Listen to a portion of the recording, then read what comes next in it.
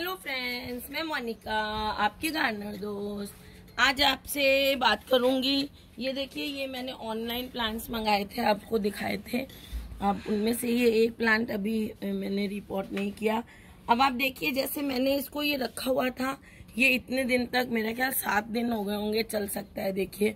आइए तो थोड़ा धूप के कारण आज आपको लग रहा है। शाम के टाइम मैं इसको रिपोर्ट कर रही हूँ। और पहले मैंने क्या किया था इस गमले में, ये वाले गमले में नीचे बस इतनी सी मिट्टी डाल के, इतनी मिट्टी डाल के और उसके अंदर इस पौधे को पॉलीथीन समेत रख दिया था।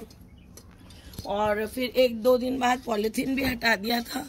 और इसके अंदर मैं पानी देती थी तो वो मिट्टी जो नीचे पड़ी हुई थी गमले के, उस मिट्टी के पानी से ये पौधा चल रहा था और इसका रूट बॉल भी था। तो आज इसको अब रिपोर्ट करते हैं, ये देखिए। रिपोर्ट करने के लिए इसको मैंने पानी में डाल दिया। और इस, इसकी ये जो लाल मिट्टी है, इसको हम हटा देंगे, ये देखिए। इसको मैंने मिट्टी में भिगो दिया। इसको आप घंटा भर पानी में भिगो दिया इसको, क्योंकि हम ये मिट्टी बिल्कुल सूखी थी। और एकदम ऐसी कड़ी मिट्टी जिसने जड़ों को पकड़ रखा है, उसको अगर हम ऐसे हाथ से हटाते हैं तो वो जड़ों को तोड़ देती है। अब हमने इसको पानी में डाल दिया है। तो पानी में डालने से क्या है, ये मिट्टी सॉफ्ट हो गई है और ज़्यादातर मिट्टी उतर गई है। अगर मैं इसको एक डेढ़ घंटा भिगोती तो ये सारी मिट्टी उतर जाती। लेकिन अभी मैंने इसको पंद्रह मिनट पहले भिगोया और ये देखिए मैंने इसका रूट बॉल ऐसे अलग कर लिया। थोड़ी थोड़ी मिट्टी लगी हुई है और ज़्यादातर मिट्टी मैंने इसमें से हटा दी है देखिए।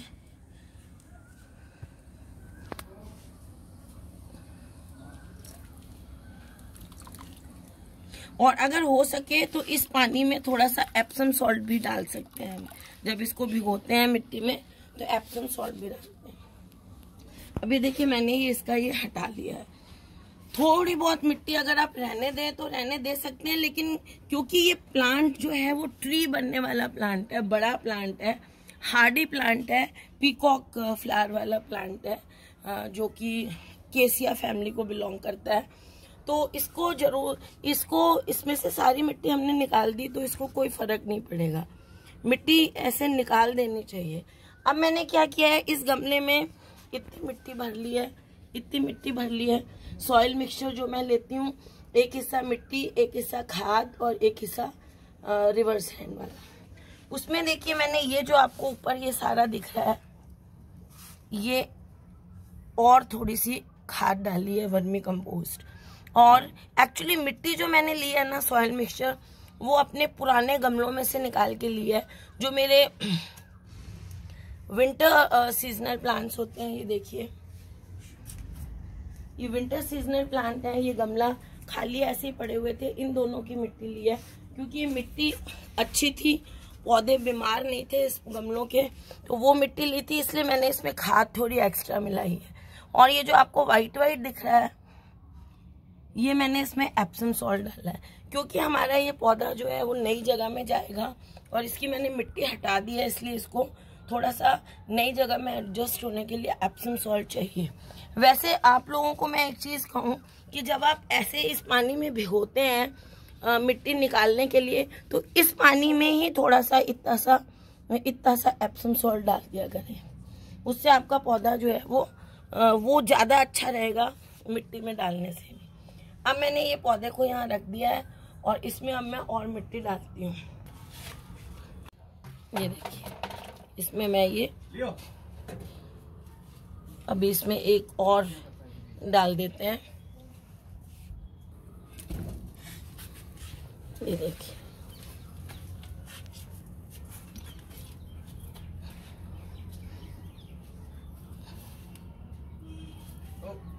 तो देखिए थोड़ा सा ये सेंटर से। चलिए, इसको, अब मैंने इसको अच्छी तरह से लेकिन जैसा मैंने आपको एक दिन पहले सॉइल पे वीडियो बनाया था तो आपको बताया था कि आप पुराने गमलों की मिट्टी तभी यूज़ कर सकते हैं जब उसमें जो पौधा था, वो किसी बीमारी से नहीं मरा हुआ हो। अगर फंगस या पेस्ट से मरा हुआ हो पौधा तो आप उस गमले की मिट्टी को फेंक दें, उसको आगे यूज़ नहीं करें। मेरे ये जो पुराने गमले थे, इनकी मिट्टी जो थी, बिल्कुल हेल्दी थी, इसलिए इनको मैंने इसमें यूज़ कर लिया। तो अब मैं इसमें थोड़ी सी मिट्टी और डाल सकती हूँ, लेकिन अभी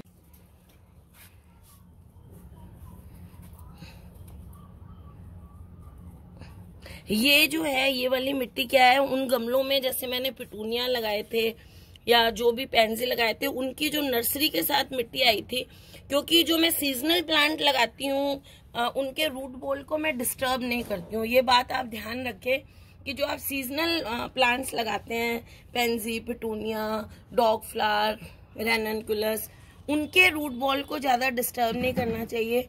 उनकी, क्योंकि वो टेंडर प्लांट्स होते हैं तो वो खराब होने का डर रहता है तो ये उनके रूट बॉल की मिट्टी है तो इसको मैं फेंक देती हूँ। इसको देखिए, अब हम पानी दे देते हैं। अच्छी तरह से। और अब हम इसकी पत्तियों पे भी पानी देते हैं। क्योंकि क्या है कि ये पौधा जो है, गर्मी में आज इसके ये थोड़े से मुरझाए हुए हैं।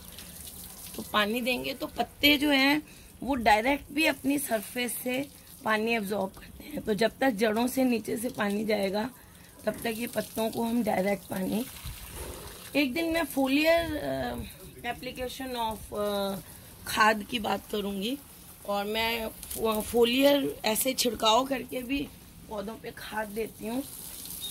वो जिस दिन बनाऊँगी तो उस दिन मैं गार्डनिंग ब्लॉग बनाऊँगी और वो भी दिखाऊँगी कि मैं डायरेक्ट पत्तों पे खाद कैसे देती हूँ। तो फ्रेंड्स ये मैंने आपको आज रिपोर्टिंग दिखाई। और ऐसे देखिए मैं अपने हैंगिंग बास्केट्स को पानी देती हूँ।